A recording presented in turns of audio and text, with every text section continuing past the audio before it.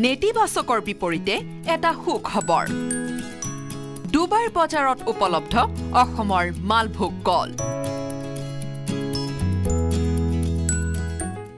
অসমৰ পৰা ৰপ্তানি হ'ব এক টন মালভোগ কল ডুবাইলৈ। আৰু ইয়াৰ পিছতে হয়তো অসমৰ কল খেতিয়কৰ পথ প্ৰশস্ত হ'ব বাহিৰলৈ কল ৰপ্তানি কৰাত।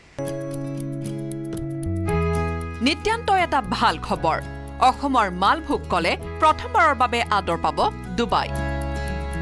দিল্লীস্থিত এপিডাৰ তত্বাৱধানত অসমৰ পৰা বুধবাৰে স্পাইচ জেট যোগেৰে এক টন মালভোগ কল যাব ডুবাইলৈ। ডুবাই হৈছে বিশ্বৰ আটাইতকৈ বৃহৎ কলৰ বজাৰ। কল ৰপ্তানিৰ ক্ষেত্ৰত ভাৰত তৃতীয় সৰ্ববৃহৎ ৰাষ্ট্ৰ হোৱা স্বত্তেও অসমৰ কলে পূৰ্বতে পোৱা নাছিল এনে আদৰ। দিল্লীস্থিত এপিডাত কৰ্মৰত অসমৰ কৃষি বিজ্ঞানী বিদ্যুৎ বৰুৱাই আগভাগ লৈ অসমৰ কলক দিছে সম্ভাৱনাৰ এখন বৃহৎ বজাৰ। এপিডাই প্ৰথমবাৰৰ পৰা প্ৰথমবাৰৰ কাৰণে এবাউট ওৱান টন মালভোগ কল অসমৰ পৰা ডুবাইলৈকে ৰপ্তানি কৰাৰ ব্যৱস্থা কৰিছে।